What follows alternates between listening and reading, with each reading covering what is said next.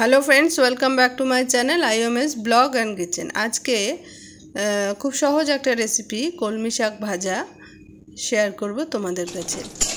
বড়ি দিয়ে কলমি শাক ভাজবো। সেই কারণে বড়িগুলোকে লাল লাল করে ভেজে তুলে নিচ্ছি আগে। এইভাবে কলমি শাক অনেকেই খায়, আবার যারা খাও না, তারা একবার খেয়ে দেখবে, খুবই টেস্টি হয় ভাজাটা। বড়িগুলো ভাজা হয়ে গেছে, এবার আমি এগুলোকে তুলে নিচ্ছি। এবার ওই তেলের মধ্যে খানিকটা কালো জিরে ফোড়ন দিয়ে দিচ্ছি আর থেতো করা রসুন আর তিনটে কাঁচা লঙ্কা আমি চিড়ে দিয়েছি।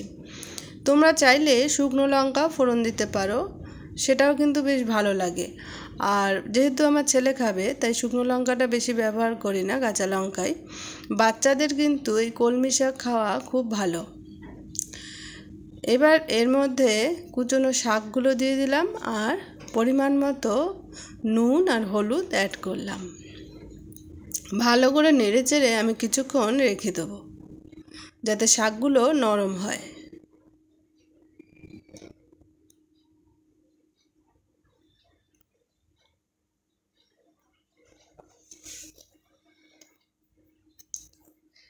শাকগুলো অনেকটা নরম হয়ে কমে গেছে দেখতে পাচ্ছ। এর ওপর আমি কুচনো পেঁয়াজ দিয়ে চাপা দিয়ে দিলাম।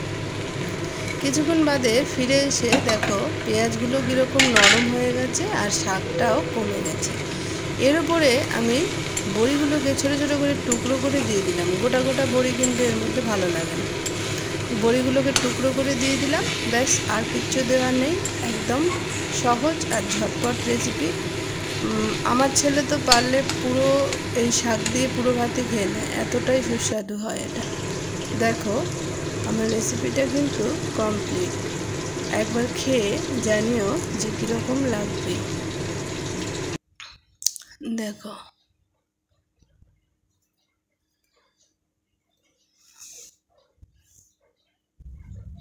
ভালো লাগলে অবশ্যই জানিও। আজ এই পর্যন্ত।